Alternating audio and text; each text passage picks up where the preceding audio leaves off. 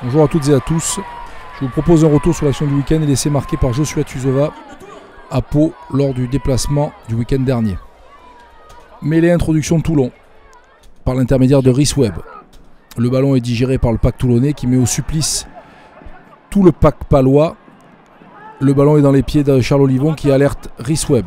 Rhys Webb qui transmet sur le pas à Anthony Bello qui élimine son vis-à-vis Colin Slade d'un crochet intérieur, puis d'un nouveau crochet intérieur, le troisième lignel palois.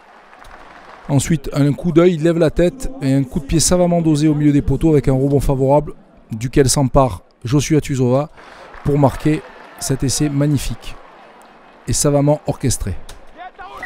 On le voit de nouveau sur un pan plus large avec une vue euh, beaucoup plus aérienne où là Anthony se joue de deux défenseurs et adresse encore une fois ce magnifique coup de pied à son coéquipier Joshua Tuzova qui s'en va aplatir entre les poteaux. Transformation qui s'ensuit, réalisée également par Anthony Bello et le Club Toulonnais qui mène 7 à 0 sur la pelouse de Pau à la 15e minute de jeu. Merci à toutes et à tous pour votre attention et retrouvez-nous nombreux, je l'espère, ce dimanche 9 septembre 16h50 à Mayol pour la troisième journée de top 14 et l'opposition face à Castres, champion de France en titre.